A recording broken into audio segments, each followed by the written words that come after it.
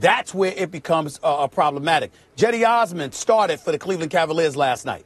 He played just 14 minutes. Clarkson had about 24 minutes. Rodney Hood had about the same. Larry Nance Jr. put in about 23 minutes, etc. And we're talking about a Cleveland Cavaliers team that doesn't have its second best player in Kevin Love, who's a walking double double, and by the way, a better three point shooter than any of the names that we threw out there, including LeBron James. This is Kevin Love that we're talking about here. So you're going to have to find a way to reinsert him into the equation. It's going to be really interesting to see what Tyronn Lue does with that. But there is no question because of the youth, the fact that your defense and your athleticism and your fresh legs have been elevated to a positive standpoint there's no question that the Cleveland Cavaliers, I, I think, will will walk through the Eastern Conference. It's what will they do in the finals.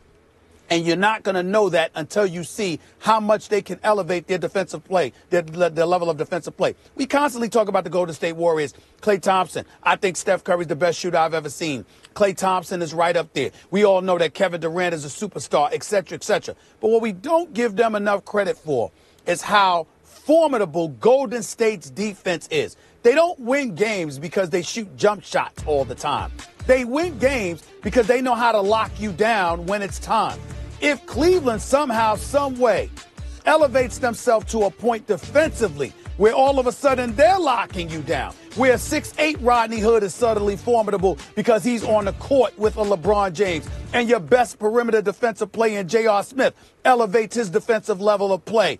And whether it's a Tristan Thompson or Larry Nance Jr. doing what they can do defensively, it can get interesting because now you're talking about a Cavaliers team that has the ability to do what they couldn't do until the trading deadline last week, and that was play defense. That's what I'm looking at right now. That's what gives them a puncher's chance, and that's what makes them roar through the Eastern Conference with no problem. So I'm excited about so are you more or less excited finals. about the playoffs? I specifically answered the question. More. I said I'm more excited more? about the finals, but I'm not excited at all about the Eastern Conference. I'm excited about the, the potential of the is, finals. The answer is correct. You should be more excited about the finals, but it's not because the Cavaliers have any chance against the Warriors, because they don't. The reason is because the Rockets have a chance against the Warriors, and maybe the Cavs have a chance against the Rockets. And because the way the Cavs were looking, even when you get to the Eastern Conference, just focus on that. The way the Cavs were looking before the deadline, yeah, did you really even think they were going to get to the Eastern Conference Finals? It didn't look like that to me, not right before bad. the deadline. You thought they had the potential on the team, but whoa, they were not showing it. So the playoffs in every way have gotten more interesting. Number one, the Cavs, I expect them and you do to get through the Eastern Conference, Stephen A. I don't know if they walk through. I don't know if they breeze through, but I do expect them to get through. Mainly because Toronto is know, clearly now they're better than the. I mean, they've surpassed the Celtics, it seems, at least the way they've been playing recently, as the number one threat to the Cavs. But in crunch time, where, where Toronto shares the ball all throughout the game, in crunch time, they have two guys they go to, in DeRozan and Lowry, and both of them fail repeatedly in the, in the clutch because the other team knows oh, they're going to go to ISO with one of these two guys and they focus on them and they stop them. So they need to figure that out. That happens a lot in the NBA, incidentally, when you have talents like DeRozan. If they're not good enough to get it done one on five, you ain't going to win. And if they're not smart enough to know I got to go to, other guys right now because everyone's focusing on me, you ain't going to win. And I think that's what Toronto is facing now. So I agree the Cavs get by them. But Toronto's been so good, holding opponents to so few points while scoring so many, it may not come down to crunch time. You know, so, so the Eastern Conference, because the Cavs got better, because we're not sure that this is not just a honeymoon phase, that this is actually sustainable, the Eastern Conference playoffs are much more interesting than they were before the trade, where you thought, oh, the Cavs ain't going to get to the conference finals.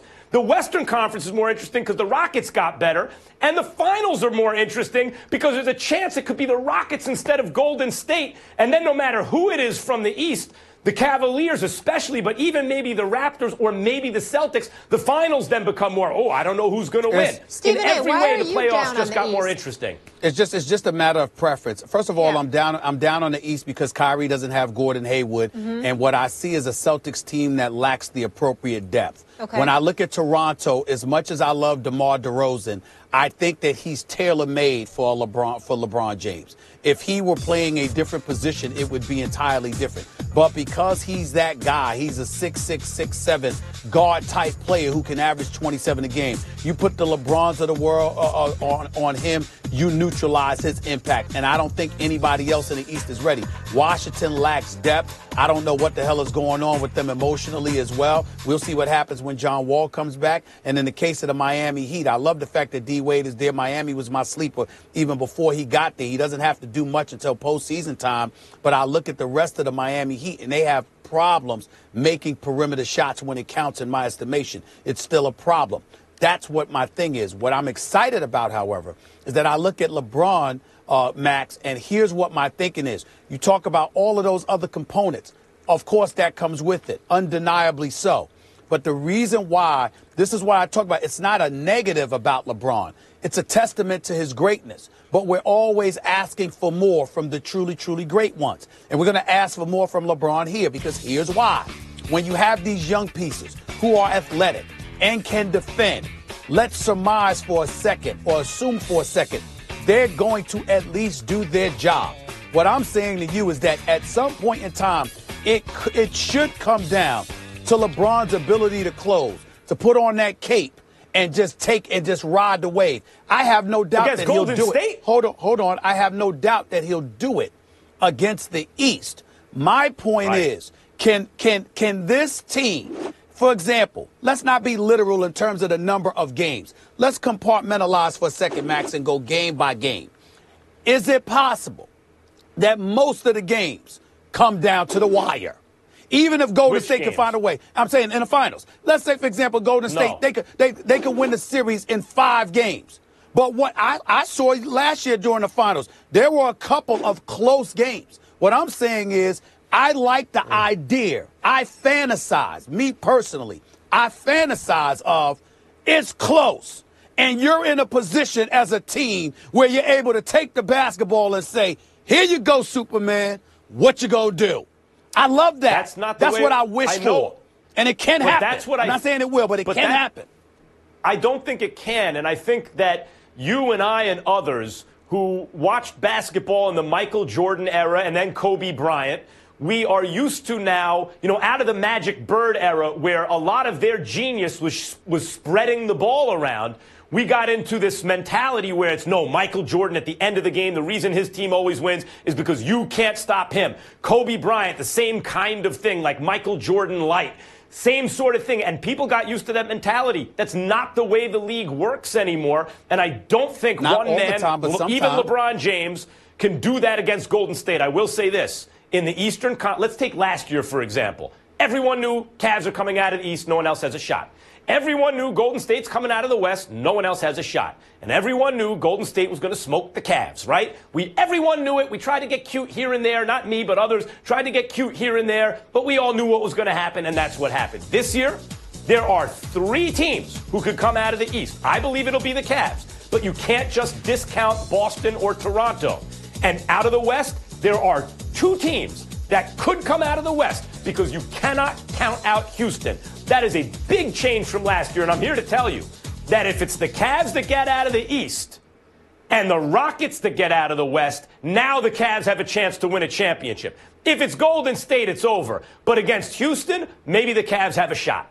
And I'm saying to you that I like this is the sport of basketball. And I literally believe that one guy can do it. I'm not talking about by himself, but I'm saying that if you have a team collectively that's gifted enough to maintain competitiveness, mm-hmm. it can come down to what a superstar can bring in those moments. I watched Kevin Durant literally in the finals. I think it was game three or game four when he hit that three in LeBron's face. There was a time during that game standing in that arena near courtside where I'm looking at these guys and I'm thinking Cleveland has this game. And before you had an opportunity to pass gas, here comes Kevin Durant. And just like that, it changed in a matter of a couple of minutes. I'm saying those moments in the sport of basketball. Okay. In the sport of basketball, it happens. It does happen. I'm with you. I'm I'm with you. But what I believe you're really overlooking here is why could LeBron do it against those guys when they won 73 games? Because he had a crime partner who was also a legitimately great player in Kyrie Irving. He does not have another legitimately great player on his team. I like Kevin Love a lot. T- he's not quite on that level where we talk about the, the true, the all-time greats. He does not That's have not a guy like that or a talent like that, but I am because what you noticed in Kevin Durant was enabled by the presence of Steph Curry, an MVP, by Klay Thompson, an All Star, and by Draymond Green, an All Star. He had those Yeah, guys on the team, literal. so his contributions to put him over the top. LeBron doesn't have that. You're, you're being too literal. I'm not. I'm not denying that you need that extra person. What I'm saying is, is that in the sport of basketball, there can come a moment inside the last two or three minutes where you can literally look at one guy and say, "Here's Mm-hmm. the ball. Take me there." You can find yourself in that kind of situation. In football and other sports, you can't do that. It's a collective right. effort. But there are moments in basketball where it can literally come down to a Superman caliber player putting on his cape and driving you to that games, moment in the last couple of One minutes. That's, that's all I'm trying to say. One or two games. I Well, let me appreciate ask- what both of you are saying Well, well. Molly, let me ask you this question, Molly and Max. What if it? What if it's two-two? What if it's two-two? Hey, that's and- better than a and- sweep. Ti- That's what on, we thought before these I- I'm- moves I'm not- happened. I'm not. You didn't let me finish. What Sorry. if it's two-two, and it's game And then five? LeBron does that, And said. it's game mm-hmm. five. Yeah. And then, you know, because sometimes game five is that deciding game. What if it's 2 2 and then it's a game five? I'm just saying you don't know. And that's what I'm wishing for. And that's what I think has a decent chance of happening. Listen, I agree with both of you. Max saying there's more squads in the mix in this playoff run, which is exciting, and also the finals are now more competitive. Gentlemen, we will leave it there, though. Still to come, Trae Young has taken the college game by storm this season, but is he ready for the